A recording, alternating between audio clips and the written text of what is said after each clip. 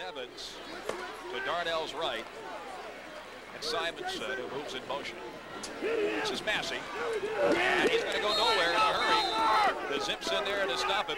Number 55, Bill Berg, making the tackle for the Zips. Four sophomores of the seven-man front. Junko now going to roll as his receiver, 30. Fury, I should say, at the 27-yard line, and Matt realized that if he could have kept it going, he would have had more yards. Second down and a long nine. Darnell goes right back to him.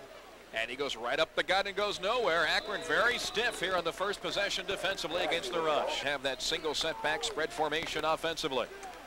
Deep handoff, Massey. Off the right end. Taylor the stop for the Zips, maybe three or four in the carry. It's Kelly Shorts Stadium, not shirtless. Yeah, third down and goal. Darnell Play action pass has one receiver to the back of the end zone, throws it, and it's knocked away, incomplete. Nice defensive play by Andre McCray of the Zips to knock it free. Yep. They're going to go for it. Darnell in the option. He cuts it up. He gets Didn't to the it. one. He did Boyd not make it. stop. No, you're Great right. play. Going to mark him at the one-foot line, and the Zips defense turn him away. First and 10 for Akron. And the football today for the Chips, 189 yards, and he gets it once again.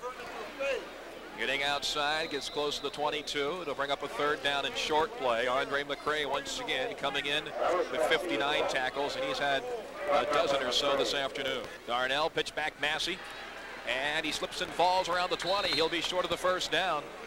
They should mark him down right around the 20 or possibly the 21 to pass away from Scott earlier in this period that would have went for a 99-yard touchdown.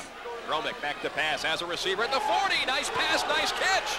And this is going to be Carl Witt across midfield, inside the 40, inside the 30, and finally pushed out of bounds by Husband at the 23-yard line. Gromick hits Witt, and he goes inside the 25. Gibbs once again, 12 minutes and 56 seconds on a moving clock. Darnell hands off the Flowers once again, and he goes up the gut and Little on that play. The Zips is sniffing that one out. Boyd and crew making the stop. Second down and 99 to go, and, and that is uh, definitely untrue. But Darnell on a second down play tries to go across the middle and can't do so, and Corey Christian there to bat it down. A nice play by Corey at the line of scrimmage. And Johnson are the wideouts. And Gromick to the pocket once again, some pressure. He may run.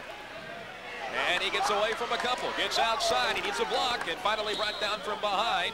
Around the 28-yard line of the carry. Nice job by the youngster to get out of the pressure and get downfield. Five staring him in the face at the 37-yard line. Single setback behind him.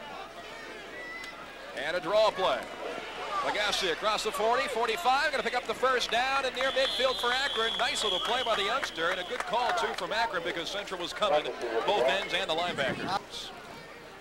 Gromick he has a receiver. He has Lagasse. He makes the catch at the 40. He's at the 30. And he may go if he can keep his feet. 15 inside the 10 and a first and goal for Akron as Lagasse hauls it in at the 40 and takes Gromick's pass all the way inside the 10 to the 7-yard line. 70 yards this afternoon and only played here in the second half.